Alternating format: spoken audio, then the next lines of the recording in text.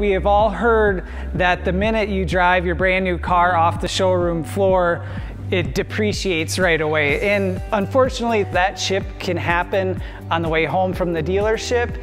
It could happen a week or a month after you take the new car.